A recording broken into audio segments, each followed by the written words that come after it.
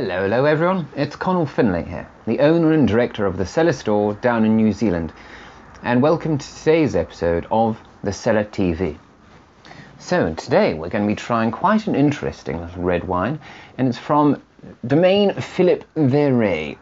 And here's a little close-up there for you, and this is their Cuvée Renaissance. And so this is quite an interesting producer and you can see around the top of the uh, bottle here it says Terre de Cosmoculture and so basically cosmoculture is something that Philippe Viret or the Domaine Viret they're sort of all together they've created. And it's this whole new way of looking at and thinking about um, viticulture and winemaking for that matter. Uh, many of you have probably heard of the whole natural wine movement basically what I'm trying to say here is Viret has taken, because it usually goes organic and then biodynamic, um, and then people become natural wines, um, generally speaking. Not every organic wine is a natural wine, not every biodynamic wine is a natural wine, and vice versa, um, but pretty much every single uh, natural wine is going to be either organic and, and or uh, biodynamic.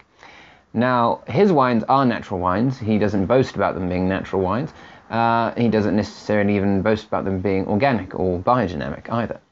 Um, in fact, he's got a very, very small output of wines that he makes. Uh, but what he does have is cosmoculture, so it's sort of heightened uh, biodynamics. A little bit crazy, a little bit, um, and all the rest, but it's good, it's great. And he's all about making the most purest and sort of yeah, most purest sort of product that he possibly can, and making the most true product that he possibly can as well. Uh, generally speaking, all of his wines are red, uh, apart from only a couple of white wines. He makes quite a few uh, sorts of wines, all very, very small batches of, the, of every single one of them. Um, and this one is his Renaissance, as I said before. And this is effectively a GSM, uh, so it's a Grenache Syrah Mourvedre um, sort of blend and it has got a little bit of Carignan in there as well, just a tiny amount. And so this, he is actually based in the southern Rhone Valley, like right on the very, very uh, end of the southern Rhone Valley, sort of closer to the south of France. Uh, what, but what is quite interesting is that he doesn't necessarily always uh, blend or pick at the right time and all the rest that uh, the rest of the south of Rhone, uh, southern Rhone uh, picks.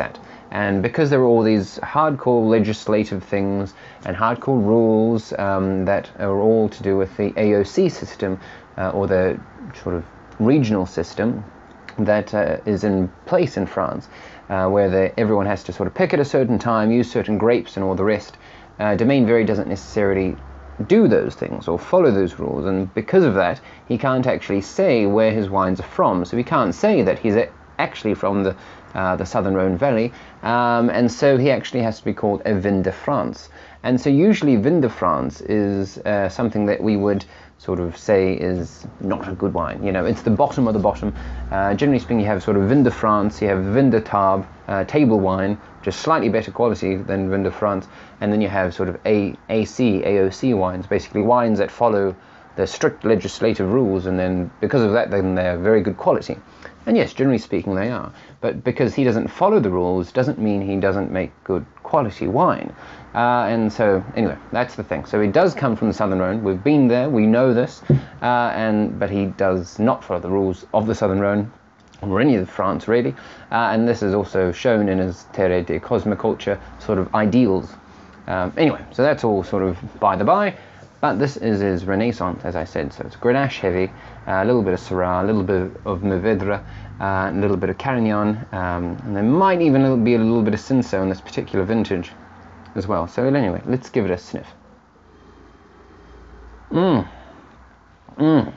So immediately what we're seeing actually is a lot more of a black fruit spectrum uh, than you, you would usually sort of see in the Southern Rhone. Because usually in the Southern Rhone it's all about sort of brambles and red plums and sort of wild berry fruit flavors sort of more on the red fruit spectrum. But uh, here, it's very much more sort of, well, it's sort of a cross between Rhone and Bordeaux as far as the nose is concerned. There's a lot more sort of chocolatey and sort of mocha sort of flavors, more sort of oaky flavors, and more sort of black cherry, a little bit of black currant. I mean, there is definitely a little bit of sort of red plum, bit of bramble there as well, but it's definitely a little bit more sort of black fruit uh, sort of spectrum. And this would also have to do with the fact that his vines, or Domaine Viret's vines, are very, very old, and so they're more concentrated. The uh, well, the resulting grapes are more concentrated, and then of course the resulting wines. This one becomes very concentrated as well, very, very intense aromatics. Anyway, let's give it a uh, give it a taste. It's certainly very, very um, intense.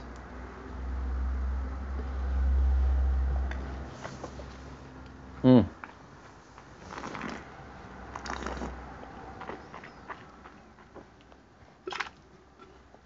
One thing I have to say, I'm just keeping on looking over at the um, bottle here because it always surprises me, but it does say 14.5%.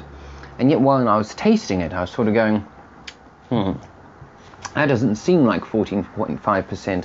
Uh, usually, when you're sort of drinking a, well, because this is, a, as I say, a GSM, if you're dr- drinking the same uh, blend, a GSM, a Grenache or a Syrah uh, from, or Shiraz from Australia, for instance, and it was 14.5%, then you definitely expect a bit of a kickback or be quite warm on the palate. But here it's actually very, very well balanced. And that actually just goes to show just how ripe the fruit is, because the, uh, the fruit is obviously sort of absorbing that alcohol a little bit, so it's not necessarily becoming abundantly obvious. It's not out of balance in any way. Um, and then there's a little bit of acidity here as well, which is sort of just to help to keep it um, sort of lively and exciting.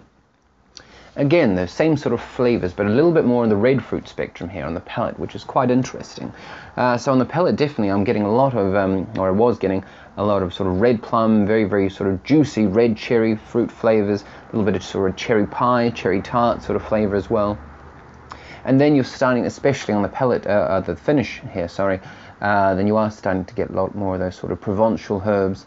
Um, so a few of those sort of rosemary, a little bit of thyme, uh, there as well. But then there's this sort of lovely sort of vanilla note that sort of just trickles through the palate, which is lovely, uh, just absolutely lovely.